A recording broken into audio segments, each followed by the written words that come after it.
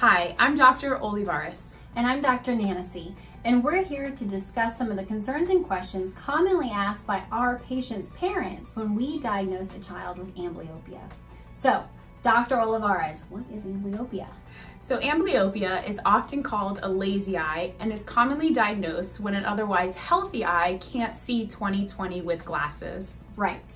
And there are different ways that you can get amblyopia.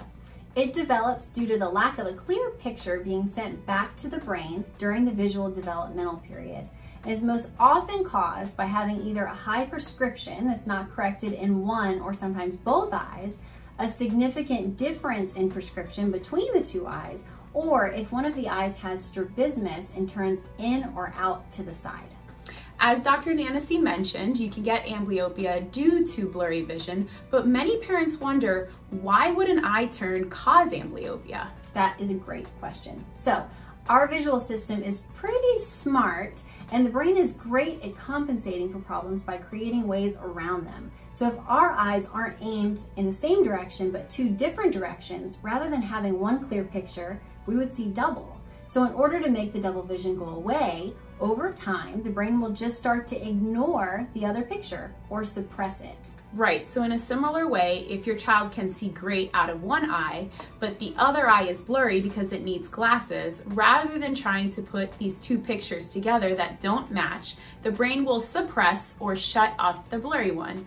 That's why we often see kids for their first eye exam diagnose amblyopia and completely surprise the parents. That parent then feels bad because they had no idea that their child couldn't see well out of one eye.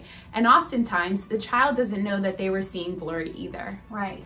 So the good news is that there are ways to treat amblyopia.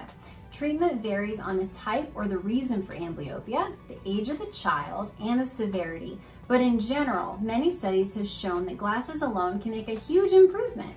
When glasses aren't enough to fully restore vision, doctors will often use some type of technique like patches that blurs the good eye to allow the amblyopic eye to have the opportunity to rewire.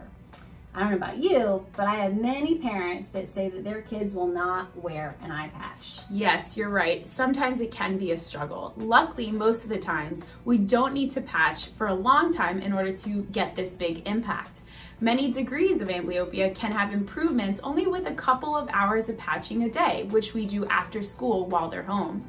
If patching is still too much, the parents can administer a drop into the eye a few times a week that can create similar effects. And don't forget that some types of amblyopia, like the ones that are caused by strabismus, will also benefit from vision therapy.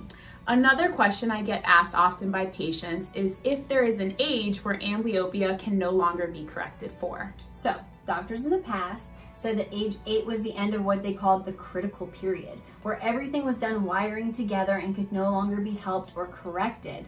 Luckily, we know now that due to neuroplasticity or the brain's ability to change that we can often cure amblyopia in kids even twice that age. You're right, Dr. Nanasy, and we have done this numerous times at our office. Yes, we have. And that being said, it's always easier to correct when the patients are younger. So that's a great reason to make sure the whole family has a yearly comprehensive eye exam.